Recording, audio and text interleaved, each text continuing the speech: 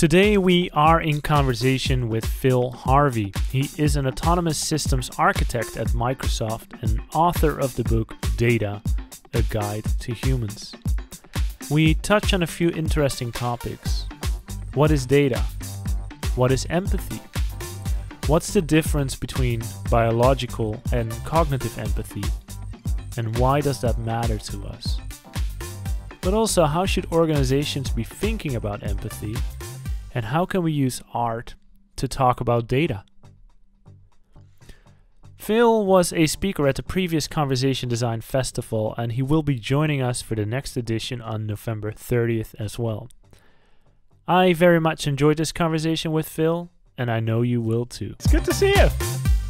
Good to see you too. Thank, thank you. you. for inviting me. Yeah, thank you so much for doing this. We, uh, I think we talked about this before, and then you were a big hit at Conversation Design Festival, and it's like let's do, let's spend some more time together. So, um, for for people that don't know who Phil Harvey is, can you give a bit of an intro there as who you are and, and what's what's your story?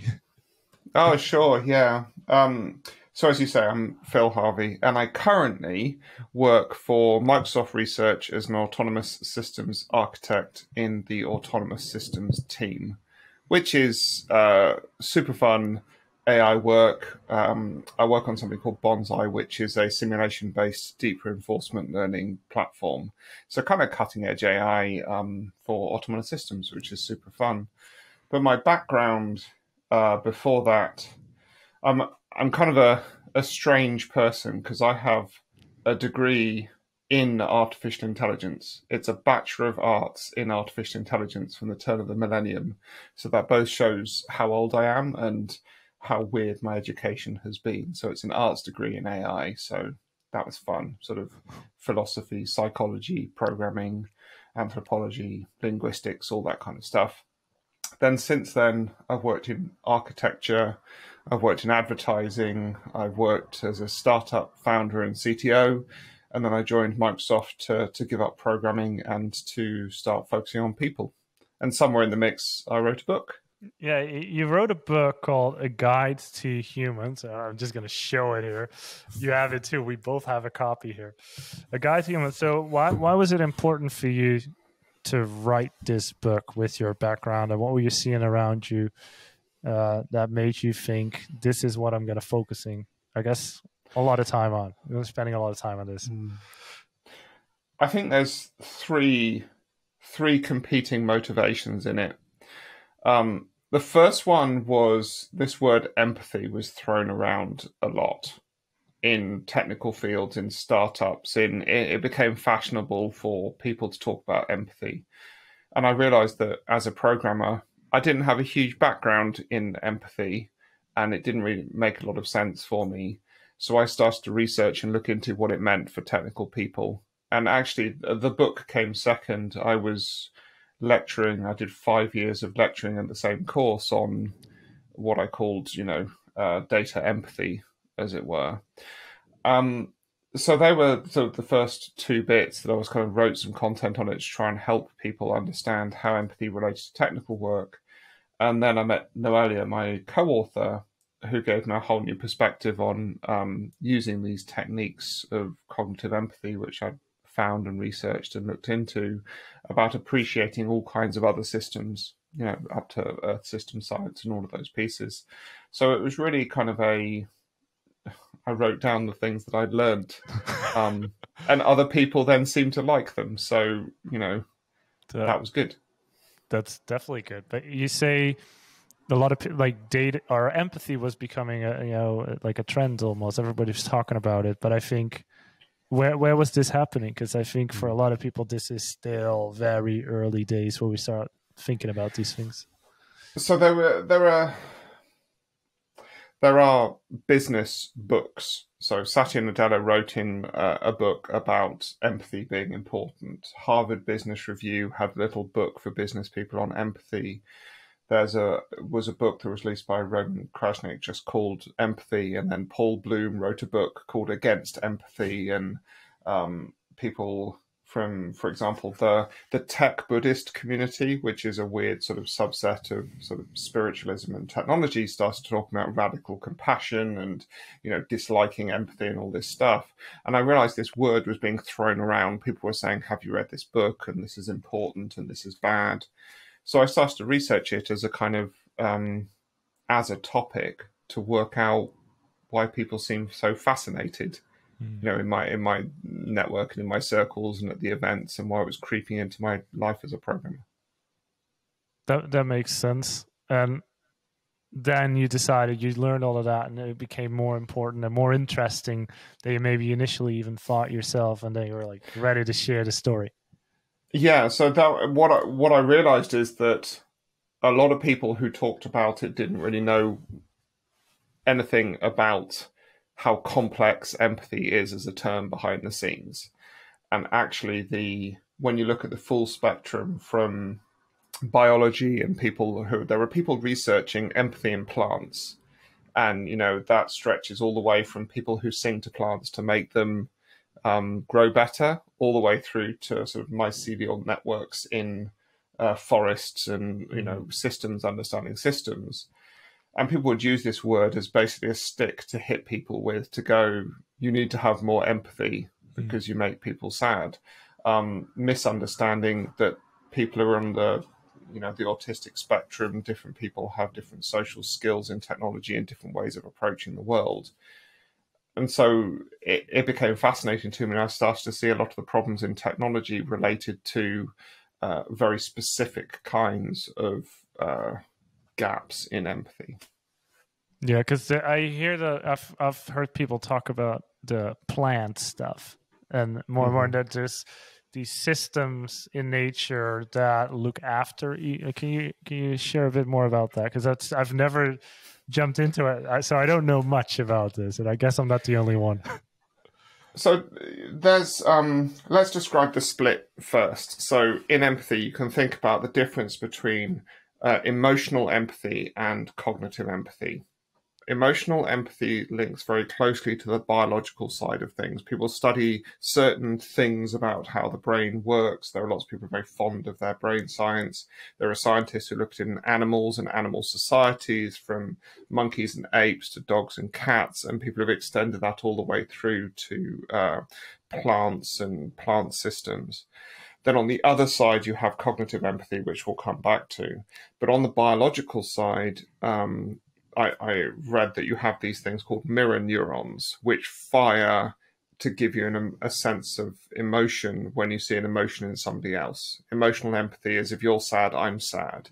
And this is the kind of empathy that Paul Bloom's book is against because the manipulation of people's emotion through the trigger points that they have have what's known as a spotlight effect. So socially, empathy leads you to focus on things. So advertising that puts a a, um, a child in distress on the sea on on the screen in front of you is doing that to trigger certain social responses, which are very tightly linked to your uh, biological empathy. And so, in the plant kingdom, people are, are studying how far that goes, because um, systems, if we, uh, I'll use that word kind of explicitly on on purpose, mm-hmm. systems that process information about the world have models of other systems in their world. So you can look at one of my favorite examples is that there is a bee flower system. The flower reflects light such that things like bees and flies can find its nectar there is some understanding of the system there. It's not mm. conscious and rational, but it's built into the natural system that there is an under, there is an understanding and something being shared there. Does that make any ton of sense at all? Yeah, that that makes sense. Systems relate to each other, have empathy for each other to help each other, but in humans, that form of empathy can also be manipulated, which is then the scary side of it. Yes. And this is exactly. biological empathy, and then we have cognitive empathy on the other side of the spectrum. Exactly. So the um, the biological empathy leads to emotional empathy that can be manipulated, just as you said. Cognitive empathy is a rational act. If you think about um, emotional empathy being sharing the needs and feelings of others, cognitive empathy is understanding the needs and feelings of others. And uh, it turns out, and there is research to support this, that if you practice your cognitive empathy, if you practice the rational act of understanding, mm-hmm. it helps develop your natural empathic capabilities to to read other people and to to interact in social situations. So in data, we can use our cognitive empathy skills that we can practice to work out what's happening as these systems around us and the people around us interact. That makes sense. And then when we talk about data, if because we're getting philosophical here uh, in a way as well, what what what is what's data? I guess that's a very simple and maybe even a very complex question. Yeah, I, I, like it as a question because hey, data's the thing you buy when you buy a mobile phone plan, right? they sell you some data every month. That's the data that you get. But in in the book, I sort of go into and we we explore the kind of first principles of what data is, and that's kind of detailed, kind of in points. But I think what I want to draw out of that in this case is data is the evidence of systems communicating. That's what's really important. It's it's captured some kind of evidence, even if it's a sensor capturing change. Somebody's designed that uh, to mm. capture that interaction in the system, interaction, communication, however you want to phrase it. So data is the capturing, the captured stuff that happened in that system in the past.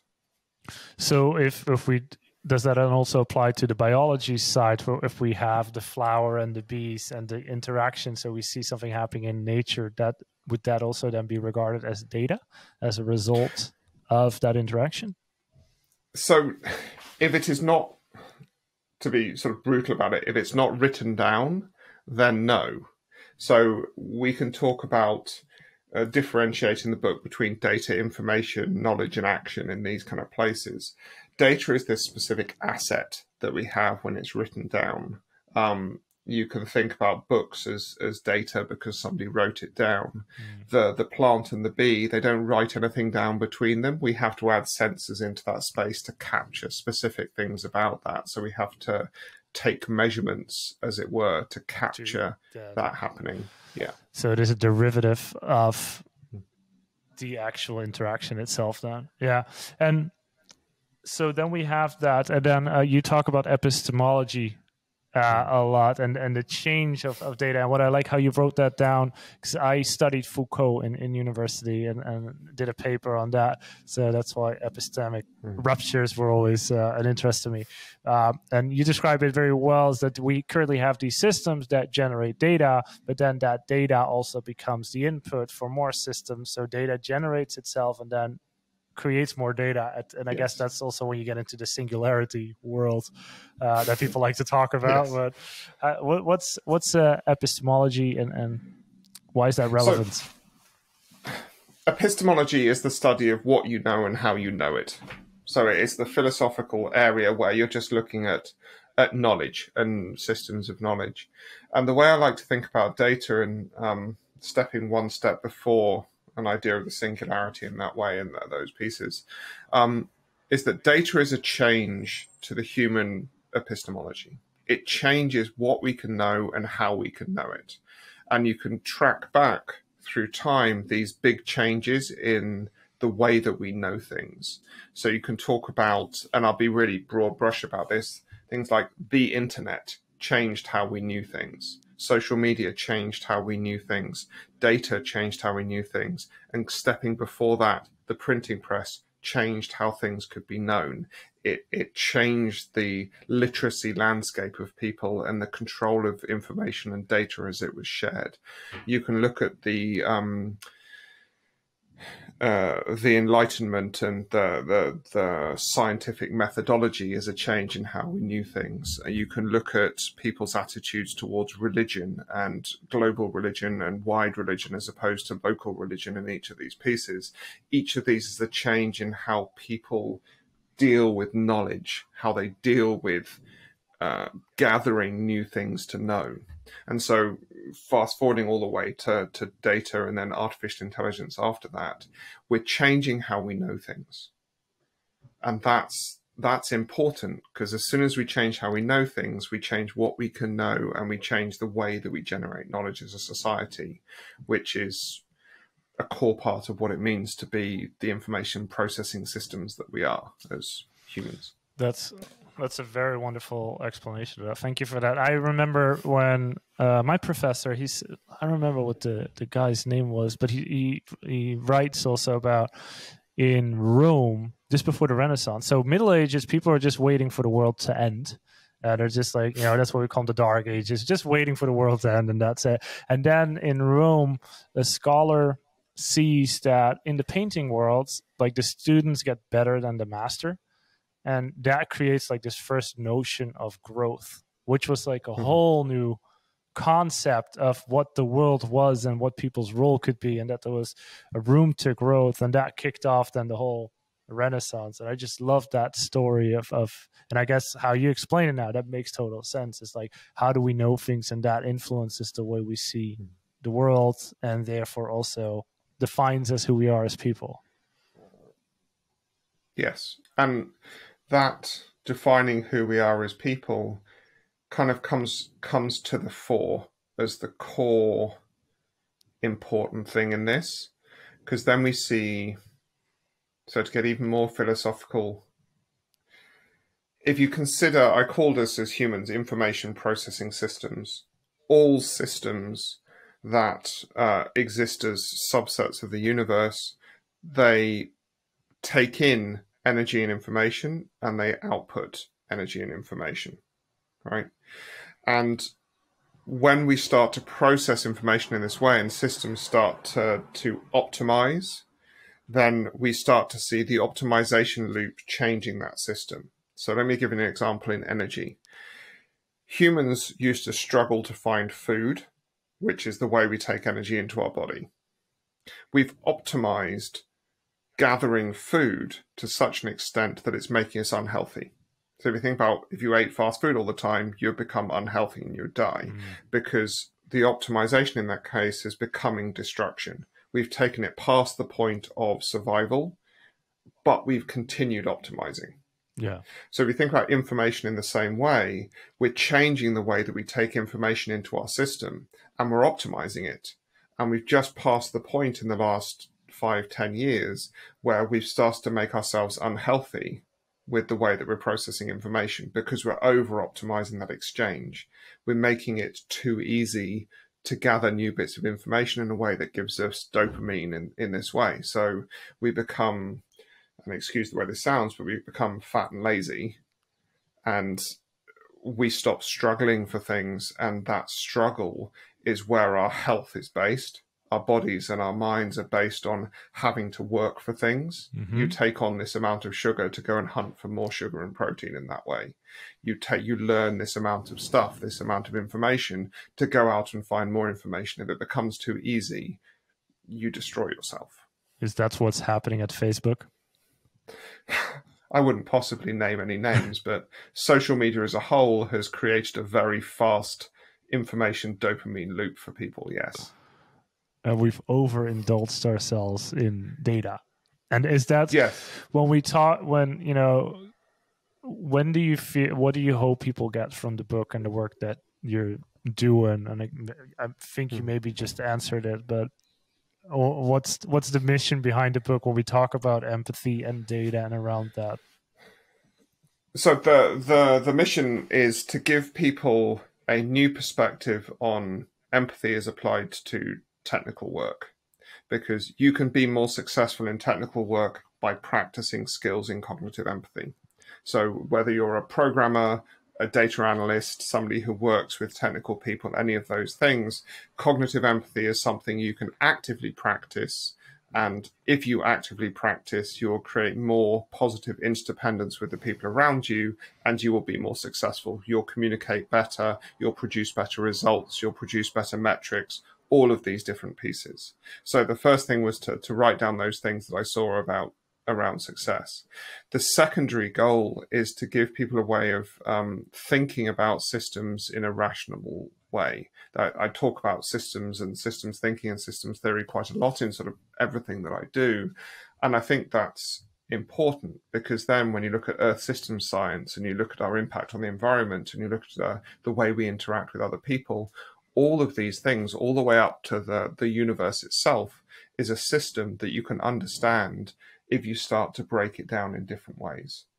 So if you start to look at data to understand things in a particular way, if you start to um, open yourself up and and fundamentally I say the word listen because it's the easiest to hear, but it's about awareness of systems.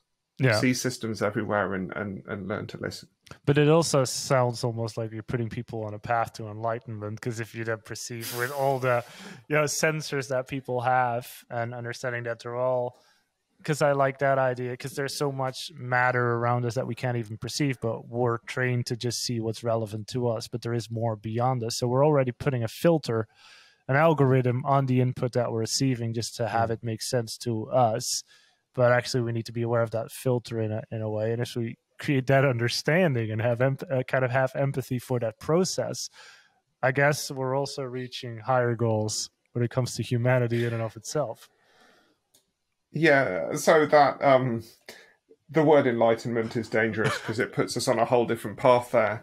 But the when we're looking at the human impact on each other and on the planet, and you know what the future of humanity is, positive interdependence is better than um, purely transactional isolationism.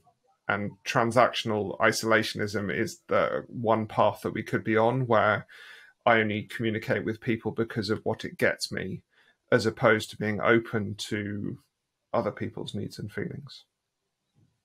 Makes sense. And so we talk about data in general now about you know what it means and empathy in general when you know there's lots of fields that are involved with data we are or, or i am particularly interested in conversational ai and the data that streams through these conversational systems when you because we talk about empathy a lot and, and creating human centered design experience or human centric mm. experiences. Do you feel like conversational AI? How do you, how do you benchmark that to other AI industries, maybe, or is is that a silly question, maybe altogether? No, no, it, it's definitely not a silly question. But I think the the way that you ask that is, is really nice because I know a lot of people when they think of AI, conversational AI may seem like a surface technology, you know, an interface and, and these kind of things. But actually, the it asks some really fundamental and interesting questions about the nature of technology in our lives. And I'll use that analogy of transactional versus interactional in, in that way. So, on the one hand, conversational AI is about bringing computer interfaces into the realm of language. We're talking about sentences, not buttons, you know, and uh, we're talking about helping computers to understand how people express themselves in a conversational flow instead of from a button click or you know loading a url or doing some uh, writing a bit of code or those kind of things but this gives us an interesting problem when we're looking at data because language data is not like click interaction data. Because mm. language fundamentally as a communication tool doesn't carry meaning. Language causes meaning in another mind or another system. So purely statistical models of language have a fundamental philosophical flaw when it comes to what can be understood from them. And I think this is a, a challenge the AI industry as a whole has to get over. And conversational AI, all, all the way back to Turing, has been one of the ways that we start to push that boundary. You know, from the Turing test, which was based around conversation and, and fooling people with conversation, we now have to continue to see how that communication is changing because a lot of conversational AIs that people will meet are not very good and you end up in a kind of frustrating transaction with them. Mm-hmm. And um, your work is about helping people to get past that and to create things of value and that uh, to create meaningful interactions. But it's still based around language.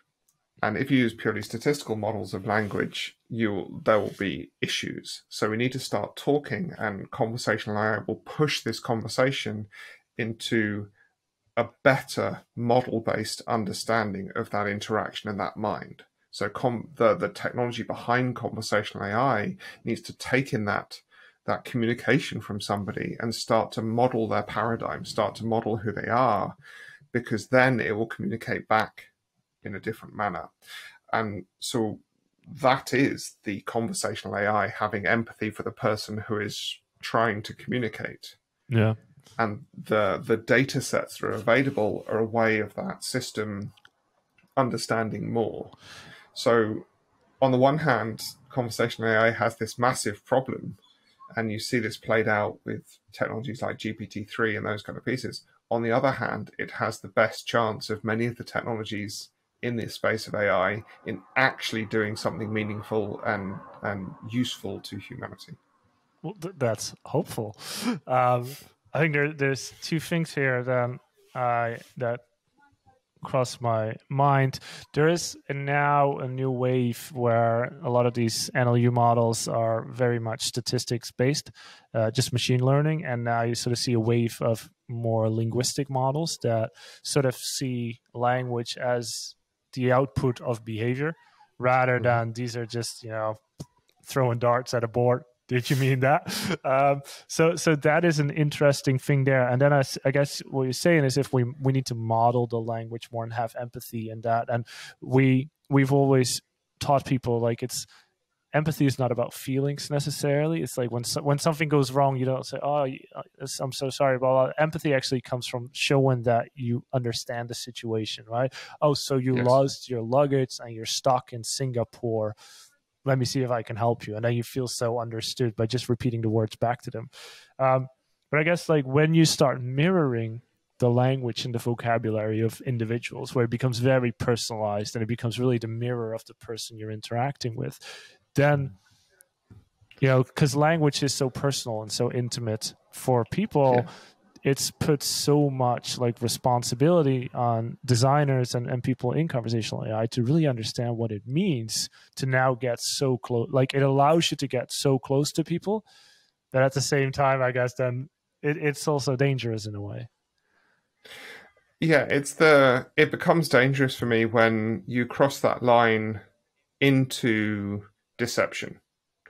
And you see that in the very negative use of voice systems, you know, the ones that call up old people mm. and pretend to be what they're not, and all that, you know, it's a terrible use of this technology. Um, and there are a lot of negative actors trying to manipulate people in all kinds of ways because it's powerful, because uh, a voice that is saying the right things to you connects with you on such a fundamental level. And so it's it's about this is where the responsible AI conversation really starts and ends for me. That There's a huge loop around here, but if you're treating people authentically, if you're working with people authentically and they have an authentic relationship with a system that is authentically trying to help them, to use the same word many times, then that's okay. As soon as one side is not authentic, if the human is trying to manipulate the machine, or the machine is setting out or is being given the goals of deceiving somebody, then you're going to have problems. And working out what is authentic and what is deception is a huge topic. People, it sounds simple when it's stated like that, but you know, a designer going road going, my goal is to sell more of these things. Let's push these people down this path with more emotive language. That's manipulative. But again, that could be described as advertising. Yeah. So, based on the book and the work that you're doing, you're going to be developing, we're looking at developing a course. Then, if you look at the world of, of conversational AI and the people that, that work in this field, like, what are some of the key things that you would want to highlight for particularly this conversational AI industry? I think the first one, and this is not conversational AI specific, but it's it's all technology, which is we need more structured technical approaches to listening. So, structured technical approaches to being aware of other systems and other people in this way. And we need to break down the the automatic way people talk about other people. Emotions you know uh, emotional content or feelings or you know the word empathy used as a kind of stick to hit people with or this wasn't a very empath- empathetic conversation. Why not? Oh it just didn't feel good. You know the, these are conversations up here and you've got a structure you need a structured method to work through to the core problem problem you need a structured method to work through to the core problem the core conflict because what in in the book we take the model of cognitive empathy and the paradigmatic uh, empathy uh, model in itself and show how that relates to specific conflicts. So where you have, um, let's take a methodology gap, where the language around method and how things are done are at odds. So if, if you think about it, it's like um, uh, I don't know if you you enjoy cooking biscuits and cakes, but let's say you enjoy cooking biscuits and cakes and you can recognize the ingredients and you know to combine them, but you go to somebody else's kitchen and their cooker's different. The way that their oven works is different. There's a different method for applying heat to the ingredients. You have a conflict in methodology there. But if you don't break it down to understand that that's the problem, mm. solving that problem is so much harder it's like, I don't like your kitchen. I can't make cakes here. Is very different from please explain to me how to use your oven. Yeah. Very different ends of the spectrum. And that may sound like a straightforward example. It was kind of meant to. When we get into technology and somebody's designing conversational systems for a business, the CEO may come up to them and go, I hate that I, I hate the system you've built. It doesn't feel right. What's the path from that to resolution of the conflict because it's usually something quite small. It's aesthetically wrong. It it pushes. Uh, it appears to push people down the the moral path that the CEO doesn't like. Maybe it's a language problem. They're talking about users and not clients. You know, these small pieces. That's at the end of the journey, but you need a structured process to get there. And then the third bit is methods of practice practicing empathy is the most important thing. And that's not necessarily practicing with your clients one to one. That is finding ways to practice that make you better with your clients. And my favorite example of this is um, making art functional in the practice of empathy it's a really fun thing to do. So taking taking people to art galleries or looking at art or working these things out and working out how to talk about these pieces of art in the context of your work in a different context and a different paradigm. So that'd probably be the three main pieces that that I think. Can you share a bit more about the last part? Like, uh, is that something you you've done with clients, or is it? Yes, it's something when I'm talking through this work and explaining how to practice I've had a funny history with art personally. It's now something um, I love and I find really interesting, but I was, you know, wasn't really into it for a long period of my life. And it was actually Schopenhauer who helped me understand that um, this, what Schopenhauer describes as the tragedy of the will, where, you know, you feel bad, this kind of existential crisis that people have. He said that the three ways out of it were art, music, and compassion so all of those three things have become very big parts of my life and help me interact with the world in a different and I hope better way. When it comes to art, art before it was art for art's sake was always a functional tool for understanding. Religious art takes people on a mm-hmm. journey. Art is for communicating things, everything from wealth to social status to messages to people who can't read. All art is there to be used you can go and look at some art wherever it is and use it to help you. And a great thing to do is to practice your empathy by looking at a piece of art and then working out how to explain how this applies to something you're dealing with in your business. How you explain it to somebody else, explain it to a child, explain it to a musician, explain it to a programmer. And a great exercise that I love doing is showing people a piece of art and saying, how does this relate to data?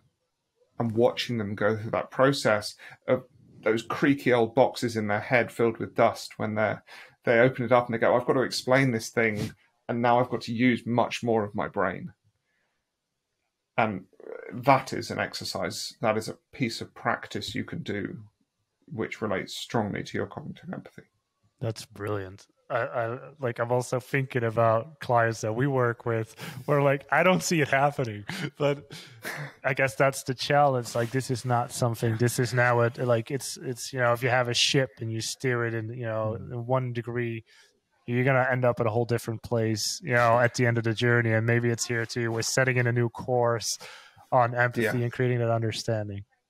So there's um you did me the, the you gave me the privilege of speaking at the Conversation Design Festival, um, and the audience was so kind and responded really well to, to the content there. And there was a group of people in the audience there who their comments told me they really understood something that I was, I was talking about here, which is brilliant. Yes, moving a ship, talking to a client about something, that can be hard. The people who do that, the people who try and make that change, I think of them as bridges. They need to step over between worlds and try and make that change happen. So we're not necessarily trying to tell a client how to be different, but we want to help people be bridges. They need to identify when a bridge is needed. They need to step into that role and enjoy it, to use these empathy muscles that they develop to make that change. And it might be that they don't use art in that way. They just work out how to use the client's language back at them mm. and keep going and don't give up. You know, yeah. listen, listen to the client. Listen to the client. I've, you know, I've, you know, I've, I've shared this with you. Like the new narrative that we're sort of working on is, you know, you always have these opposing perspectives in organizations or in the world in general. But what if we just don't treat it as who's right, but just assume that we're both equally right. And that forces us now to understand what the other person's thinking. And in our case, exactly that. Yeah. it's that when you say we're both equally right, okay, what happens next? Yeah. Well, you've got to move, they've got to move, but somebody has to help these two right perspectives move together because you need that interdependence to work together. Uh, anybody who's working with a company, with a team, with anybody else, you need to find those interdependencies, ways that you rely on each other, then you can move forward. And so I love that where you say both right is okay. Now, now we're looking for who moves. Do I move? Do you move? Do they move? How do we make that happen? Yeah. And cognitive empathy, I found in my career and my experience to be a really powerful way to do that because it teaches you to listen and to kind of accept your own movement as much as somebody else's. Yeah. So don't listen to respond, but listen to understand. Definitely. Yeah. Yes. And we're doing another Conversation Design Festival on November 30th. Uh, you're going to be there again, right? Yes, if you'll have me. No, I think we already agreed on that. no, is there? Uh... You mean that you didn't think of that spontaneously now? there, there's always a strategy in play, Phil. You know that. No, uh, thank you thank you so much. We're getting to the end of our, our time here and i very much enjoyed this. Is there anything we touched on a lot of things. Is there anything that you feel i should have asked you or something that you'd like to re-emphasize? Well i mentioned music and you didn't pick me up on that. We talked about art and empathy as a form of compassion but music in the middle as well. Um, i don't think there are enough musicians in the world I know that some people find that a strange statement, but anybody can make music, and music is a wonderful other world that people should dive into. So, anybody listening who's always wanted to but hasn't, go and find something to make music with. And on that note, thank you so much, Phil. It was great seeing you. Thank you. Hey there, you made it to the end. Congratulations. I really appreciate that. Uh, I know you're busy, so you've listened to a full episode, so congrats on you. Great job. So, now what should we talk about? No, I'm just kidding. First of all, thanks. Second of all, if you want to learn more about Conversation Design Institute, I highly recommend that you go to the website conversationdesigninstitute.com. And there you can sign up for a free account and start your learning journey. So you can learn about, you know, AI training, conversation design, conversational copywriting. There's lots of technology courses. So now that you've gathered these technology agnostic skills, uh, what are you going to do next? You know, are you going to learn about LANapp, Qbox, Rasa, Cognigy. We have all these different technology courses as well. So there's a whole, whole portfolio. So I recommend, you know, going there, creating a free account, watching a few videos. If that's enough for you, great. Uh, if you want more, you can just enroll and become a certified professional. These courses are really good if you are, you know, an individual designer, writer that wants to learn about conversational AI. But if you're an enterprise and you're looking to scale up your team, uh, lots of enterprises onboard their entire team to these courses to scale them up quickly. And it's also an option to add extra workshops with that and extra coaching sessions.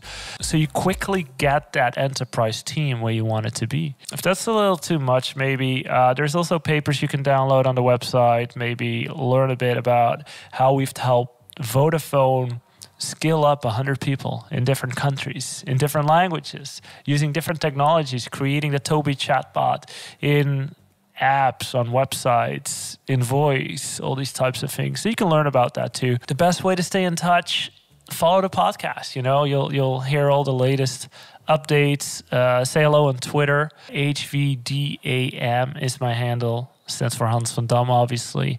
Uh, or just type in my name on LinkedIn. Uh, I, I, post regularly. I like to engage with people there, uh, so feel free to do that. So again, thank you so much to for listening to this podcast. You know, happy to meet again for the next one.